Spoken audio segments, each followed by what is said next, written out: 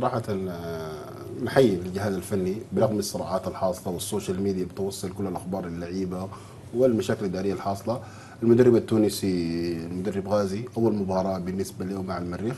آه، انتصار صراحة آه، الجمهور المريخي يرى أنه المريخ يعود إلى المسار الصحيح بعد قمة بعض التعادلات اللي حصلت في الدو- الدور الثاني في ال- ال- الدوري الممتاز. أنا أشوف إنه المريخ صراحة الصراعات الاداريه الصراعات الإدارية مؤثرة على ال- الأجواء الكروية وعلى فريق الكرة الأول خاصة. أتمنى إنه المريخ يتفادى ويكون في معزل خاصة.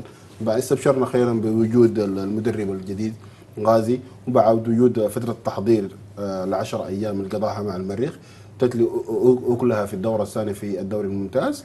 لو جينا على الهلال الهلال صراحة من أمتع الفرق في الدورة الثانية.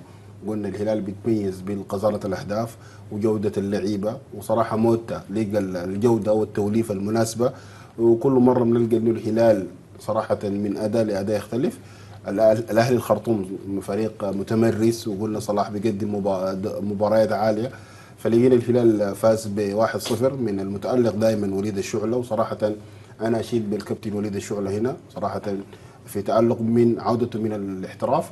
آه الهلال آه أنا بعزي إنه ما في أهداف غزيره لعدة أسباب عودة اللعيبه الدوليين بعد 72 ساعة من المنتخب ولعبهم مع مباريات أثر على ذلك. ثاني حاجة في ع... لا راحة سلبية لمدة 10 أيام كانت لبعض اللعيبة تراجع بعض المستوى. لكن الحمد لله إنه الهلال ماشي في في ناقمه الانتصار ومباراة رجعت فارق ال- ال- الفارق الصداري بين الهلال والمريخ لست ست نقاط. نعم. فأنا بشوف إنه الهلال صراحة ماشي في في المستوى في المستوى إلى الأمام. ال- النقطة الثانية المدرب موتا قلنا وجد التوليفة المناسبة ودخل في الأجواء الفنية بالنسبة للهلال.